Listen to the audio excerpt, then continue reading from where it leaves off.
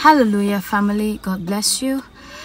You're welcome to prophetic intercession with Armelle. Always an honor to bring you prophetic messages from the Lord. God bless you. Thank you so much for stopping by. If this is the first time you are coming across this channel, and if this is not your first time, I love you so much, family. You are always in my thoughts, you're always in my prayers. You are the reason why I am here. Hallelujah. God bless you. Thank you so much for always sticking with me. Hallelujah. I just want to drop this quick message for someone. This person around your life is evil. Excuse me. This person around around your life is evil. I mean pure evil. But you cannot see it because you are blinded by love. You love them to a point where you cannot even believe that. You know love has a blind spot.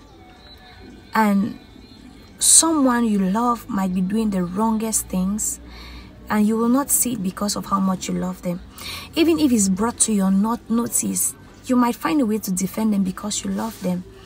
But it's because, you know, and those people can easily harm you. You do not believe they can do anything evil. You do not believe they can hurt a fly. But such people can easily harm you and even get away with it. Because because in your mind you know that they can't harm you. And Sometimes God is going to open your eyes to such people.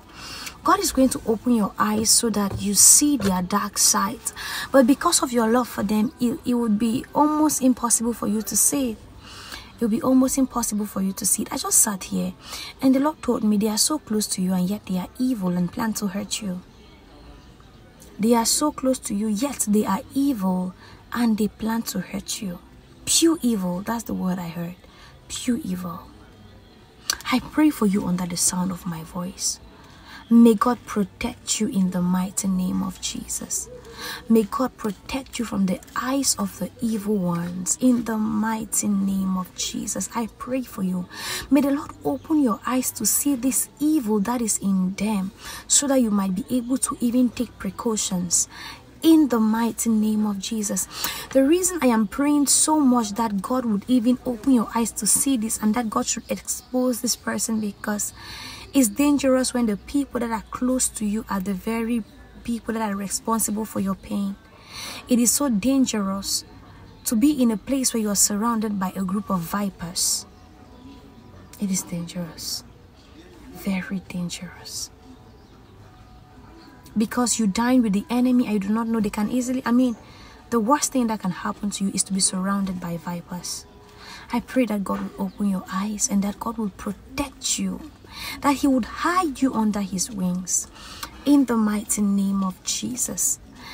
May the Lord bless you keep you cause his face to shine upon you. May he be gracious to you and give you peace in the mighty name of Jesus. Please subscribe if you're yet to do that and do not forget to turn on your notification bell so that each time there is a fresh word you will not miss out. God bless you. Shalom.